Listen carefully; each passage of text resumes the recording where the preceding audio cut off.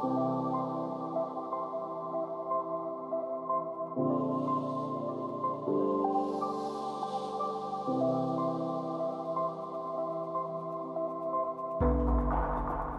Julian from Swivel Finance. Uh, I'm technically the CEO, but I do a lot over there. Um, and today we're generally going to be talking about ETH2 and the way that we can really use DeFi products to kind of amplify both the securities of, eco of the ecosystem generally, as well as just the attractiveness of what we can offer in DeFi itself. So to start, really, what is block space, right? Block space is generally just a reservation of some computation space on the Ethereum network for specifically the mutation of state, right? So generally speaking, when you try to submit a transaction, it's going to require a certain amount of computation, and you then must reserve a certain amount of block space, of course, to transfer those funds or whatever you're doing. Um, also, generally speaking, right, this is supplied by validators in ETH2, supplied by miners traditionally, and the demand really then just comes from purely user transactions or arbitrage or whatever it might be, right? So yeah, going towards demand you see that generally speaking, it actually is insanely volatile, right? It's very difficult to predict demand. Uh, there are a number of just confounding factors that continue to screw up any sort of models people have made. And really, at the end of the day, um, this volatility is fueled by mutually extractable opportunities, right? Whenever there is volatility in the market itself, uh, there's liquidation opportunities, arbitrage opportunities, et cetera. Whenever there are NFT drops, like that massive one up to 450 gas for an entire day, um, it just it screws things up for really how people must price and create instruments around the ETH2 market. On the other side, right, we see that supply is kind of weird, right? You, you have an increasing number of validators, um, and this will continue to increase. It really hasn't started to plateau, in my opinion, yet. Uh, but on the other side of that, right, the actual block space within a given block is actually static. So you really look at this and kind of have to think of it in, in two ways, right? And, and when it comes to uh, the factors of block space, right, you have to look at a number of things that will impact the yields of the validators and how that really uh, uh, makes the product attractive to them, right? You kind of have to make things financially incentivized. Um, so then the question comes, right, when you're looking at block space and these supply and demand factors, how can you actually properly price these, right? To start, obviously, everyone knows of base rewards. Um, most people actually don't know that this kind of, it does shift depending on how much demand there is within a short period, right? So if a block is full, there's more rewards in the next block. And, and essentially, they just try to, to move around on this direction. Um, but on the other side of this, right, what most people are most familiar with is just purely uh, the fees that you pay, right? If you want to get a transaction through, in a reasonable amount of time, you have to pay a fee. And I mean, the important factor is really that this has been very clearly an increasingly impactful mechanism over the past few years, right? You cannot really look at purely any of these base rewards or other factors alone. You have to really get abstract with your thinking. So on the other side of that, right, you can also disincentivize negative activity. Um, and this really just introduces more risks for validators than uh, really people recognize at this point in time right? Uh, there's an entire row of, of, of, blocks that were entirely uh, completely destroyed in the past. Um, and realistically, you end up having to, to, sorry, I actually did the wrong slide, next one. Um, you end up getting slashed, and, and, and a validator ended up getting slashed, I think, on about 20 slots in a row.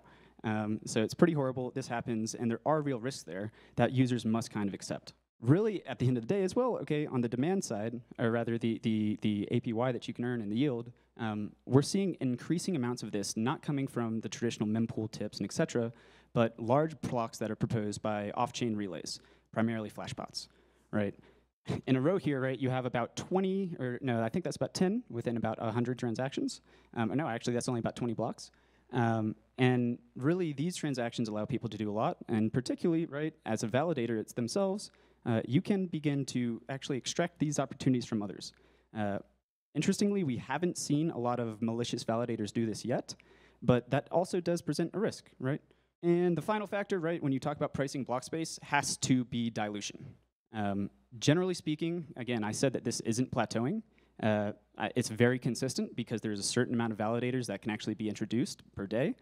And at the end of the day, we've seen that over the past year, um, regardless of increases of yield based on you know MEV and, and the ETH2 merge, val validator yields have actually just been diluted by 50%.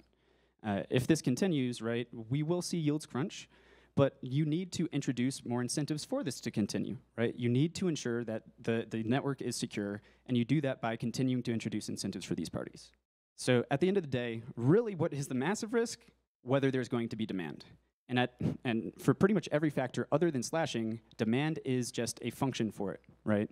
So then when you actually try to apply this, you get this massive formula where effectively you have the base fees, the fees themselves, MEV and tips, um, and as well dilution, all really kind of dependent on, on demand, um, as well as these time factors, right? If you know that six months from now there's going to be a 5% yield, well, you can actually predict things pretty accurately. However, if this is going to be massively volatile over that time period, you need to actually do some pretty complicated stuff in there, right? So the question becomes, why, right? There's all this math, there's all this, honestly, it's crap involved in trying to do this. Um, why actually create products that can, can do it? And at the end of the day, it's really because you can create validator experiences that honestly exceed anything that is available today. So getting into really how you do this, right? What are block space capital markets? At their core, block space capital markets allow users to take the future yield that they might generate on some amount of block space that they can commit and sell that to other people to reserve today, whether that's in direct reservations like Eden Network, uh, whether that's through peer-to-peer -peer transactions directly like Alkimiya, or whether that's through larger validator pools and everything like Lido and et cetera through the stack of, of Swivel. Um, and on our end, I think that's some, something is very important to note, right? We split up the components into yield tokens and principal tokens. So if you took a, a deposit on Lido and you instead immediately gave it to us, we would take that deposit, we would split it into those two components, the yield tokens representing the yield that would actually be generated, and the principal tokens representing your actual deposit itself, and allow you to actually trade those, right? So the most common use case there is then, well, I want to trade away my yield tokens, that future yield, to somebody else. And the result really is that as a staker, you then are completely insulated from any slashing risks, any dilution risks, any volatility.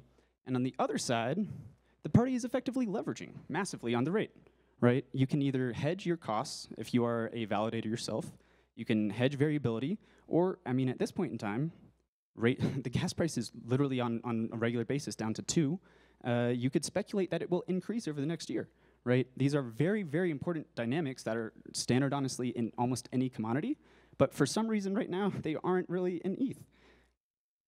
But then, okay, there are multiple designs to do something like this. And the question really becomes, what can we do with these designs, right? You have a, a base layer of staking, to then continue to increase the capabilities of your validators, and in doing so, increase the safety of your network. And the question then comes in, okay, what are the things you are looking for? And really, at the end of the day, it's composability. You have the ability with these sorts of uh, maturable instruments that are designed around block space to create composable instruments that are continuously rehypothecated. The first examples being just composable principal tokens, right? I mentioned that this mechanism creates principal tokens that are redeemable one for one. This is extremely important because this is a mechanism that is shared by about 10 protocols. This then introduced the ability for hyper-composability across a number of different yield generation sources, ensuring that there is liquidity for these markets and they can continue to be built upon. So let's say they can be, really then looking back at the two different models, okay, well, how can you continue to build on top of them? Um, Alkimiya is a very popular project that is working in this direction. Uh, they take individual validators and they ensure that those validators can find counterparties to purchase effectively those yield tokens. Um, these, these agreements are, again, individual validators, and they all have unique maturities, uh, which effectively means that they are completely non-fungible, they cannot be rehypothecated generally, and you cannot really trade them on secondary markets. The upside being of Alkimiya, I don't want to just crap on them, you know, you can address this market of individual validators, and there are a lot of bespoke validators out there. However, right, if you want to build a more composable product, you can combine these sorts of things with Lido, with Rocket Pool. And instead of having an agreement that goes directly from validator to a contract buyer, you route that liquidity through a third-party validator that is composable, like Lido, like Rocket Pool, and then through them, you actually create this contract. And by doing that, right, you then start to have the ability to create more and more interesting instruments. A first example, this is a, a friend of our protocols. They, they let people take those principal tokens and borrow against them at extremely high LTVs, around 90 to 95%. In context, that represents the ability to leverage on the staked yield way, for, way more than anyone really ever would. It allows you to continue to hedge in many directions. And at the end of the day, it continues to provide utility to these stake yield products that allow you to make more composable, interesting things. This is probably my most uh, exciting slide, or the one I like most. Um, there are really a ton of advantages native to DeFi for fixed maturity instruments that are not replicatable in traditional finance. Primarily the ability to, like I've said, rehypothecate atomically. And in the context of these maturing instruments, a principal token, let's say you have, in this case, 100 or 1,000 principal tokens maturing on December 31st, can then potentially be used as collateral to underwrite options, right? In this case, again, you'd take that principal token, you know it's maturing on December 31st, and you would find a counterparty that would accept that, knowing that they would also have that face value at December 31st as well. Uh, again, this is a completely unique mar market for DeFi, right? Try going to a bank with your bonds or with your T-bills that you bought this year at 4%, right, that everyone's bragging about, and asking them if you can underwrite some puts or anything with it, right? You will find that they will laugh you out the door, and it's like, it, it's just kind of a joke to them. Um, again, I think this is probably one of the more exciting things going on right now. The ability to take these assets that really are only traditionally used in one way and to combine them into these, these structured products that allow you to utilize them further. In this case specifically, you have the ability to lend a stake yield, right? You're capturing the, the base yield, the MEV, the tips. You're capturing just everything from EIP 559 and 159 if that was happening. You're capturing a lending yield on another protocol. And then in addition to all of that, you can capture an options yield. And go going further down that rabbit hole, right? Here's another protocol that is another friend of ours where uh, they effectively create expirable futures products. Uh, it's honestly kind of complicated how they do it, right? Uh, but the bottom line is they, they use fixed rate markets that themselves can be backed by ETH consensus to create these expirable futures. And in context, it's actually very interesting because the most common use case of expirable futures back, is, is hedging options. Um, so at the end of the day, you actually are already seeing this, this symbiotic ecosystem where users are able to hedge regular just trading markets in both directions while getting additional yield, and all of these, this liquidity is then routed through the base ETH consensus layer.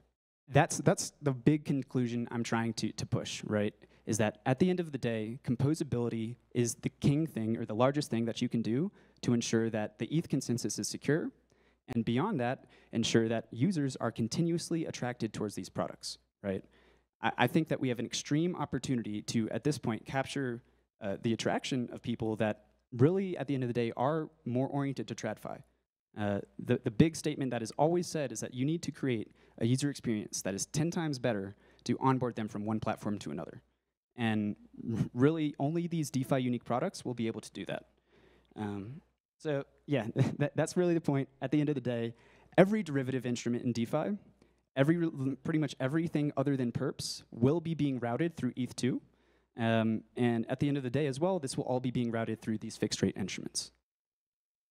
I'm, I'm Julian. Uh, I'm the founder of Swivel Finance. Uh, so feel free to reach out, uh, follow me, and or join our Discord at uh, discord.gg slash swivelfile. Just swivel. Um, yeah, that's it. Any questions? Right in the right in the beginning, you were talking about validators supplying block space. Yeah. Um, but the block space remains constant throughout, like you said. So would they?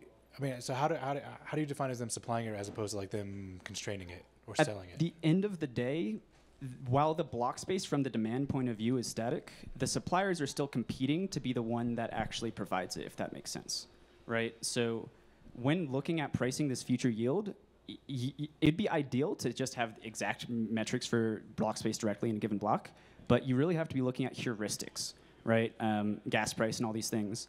And you know, in, in context, it's, it's just about you know kind of trying to get anything you can to just derive the, the, the base block space rate, or like something that you should try to price and sell your yield at. Uh, so you mentioned uh, block space and uh, those markets. How does the fungibility of blocks block space uh, make pricing harder?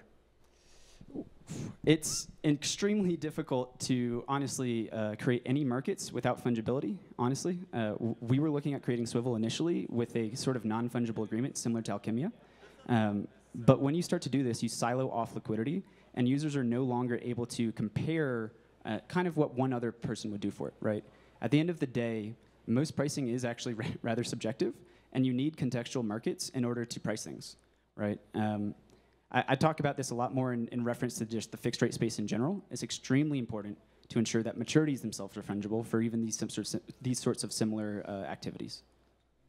Uh, the distinction that you you noticed, which is that for these kind of like splitting and like rehypothecating um, future staking yields, uh, it kind of requires going through uh, you know central-ish validator of some kind. Generally speaking, is there any way around that? Like, is there a world in which we can create uh, fungible claims to like individual home stakers? A, I'd hope that honestly Alkimiya is working further in this direction. Um, it's more difficult than one would think, I'm sure, right? Because you actually then have to actually you have to create the infrastructure between a validator client and some DApp. And honestly, I don't think anyone is doing that whatsoever yet. Um, really, it's going to be a difficult problem for them to solve. I think they can, you know, create more fungible markets. Is kind of the way I'd put it, by by forcing people to use a certain maturity and only trading within that, right? Um, but at the at the end of the day, I think it's more of a, a technical qual- problem than than a market design one, probably. would the return profile and the volatility of the split out yield aspect of it not just mirror Ethereum anyway? It, would, yes. That's the point. And when you, if you split away your Ethereum, you're not. It's not going to do anything. What you need to do is find a counterparty to buy the the yield token, the split away yield that you're going to be earning over some future date, right? Um, and th- that's why, again, it's very important to try to create these markets that are fungible and liquid. Otherwise, it's, it becomes increasingly difficult to actually find these counterparties. And then, as well, right, if you don't have a secondary market for anyone to sell anything on, it's impossible, right? Uh, so you really need, it, really answering your question, you just you're selling you're selling those yield tokens to another counterparty, and that person is going to be the beneficiary of whatever ETH staking and et cetera. Yeah.